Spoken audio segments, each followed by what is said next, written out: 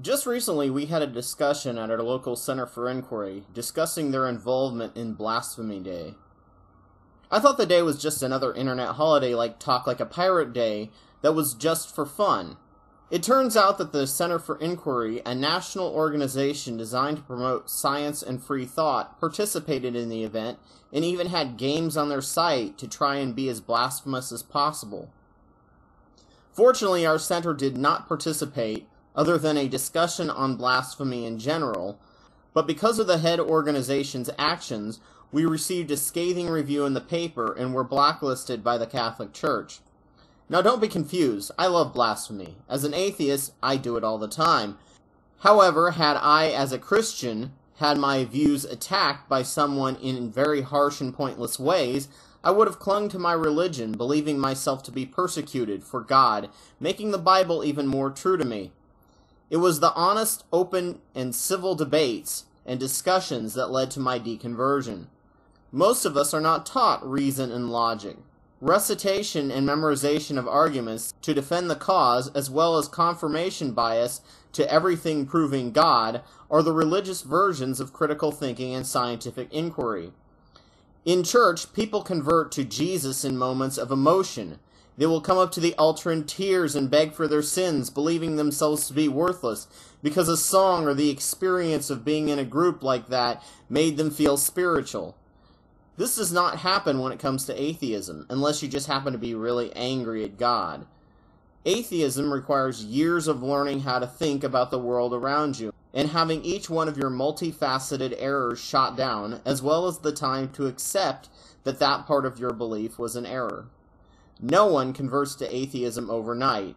It is a long process that requires open discussion, education, and understanding. This is why the Center for Inquiry should stay religion neutral, as we have had Jews, Quakers, Unitarians, and sometimes conflicted and curious Christians, as well as deists, come to our center to hear our discussions. If we insult and attack them directly, they will never come back, and possibly never learn reason and intellect.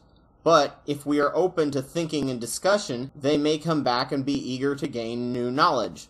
Vilification works in religion because it's based on emotion and prejudice, just like Fox News and the Republican Party. They rely on blind faith and the us versus them mentality. Science, skepticism, and atheism requires thought, reason, and education if done right, and therefore vilification and insulting doesn't really work. Throughout history, blasphemy meant questioning what the church said or believing or saying something contrary to the Bible. Back in those days, blasphemy pretty much just meant free speech, as free speech gives you the right to offend others with what you think and to be offended by what others think. Free speech works like natural selection, where memes compete and fight, and only the more beneficial memes survive. In nations where there is no free speech, Artificial selection prevents memes from spreading, and they become stagnant and weak, but strongly held and believed. This is beneficial in a dictatorship because complacency is the meme that is selected for, and any non complacent meme carriers are killed. The current definition of blasphemy, however, has changed over time, and that is now perceived to mean blatantly insulting and offensive to religion, mostly because a lot of Christians can't deal with free speech and do not understand how it protects their rights to think what they want. Therefore, they vilify blasphemy as persecution.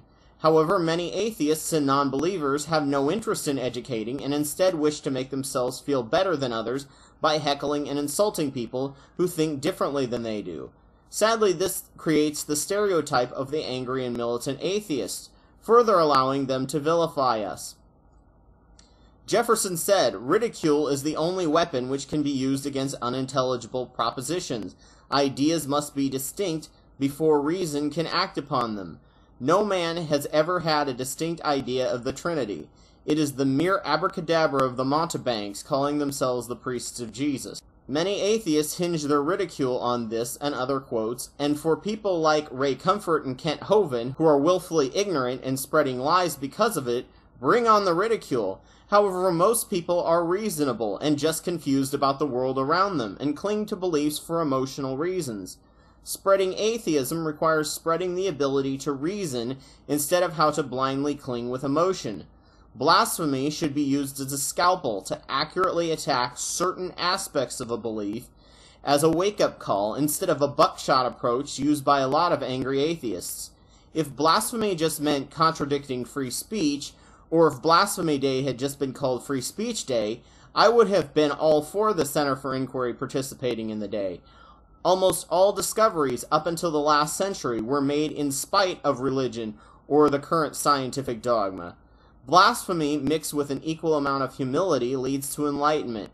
Blasphemy by itself leads to blind arrogance, while humility by itself leads to mindless passivism, or even violence if your religion tells you that killing someone is being humble before God. Only when these two are in balance will true understanding come about.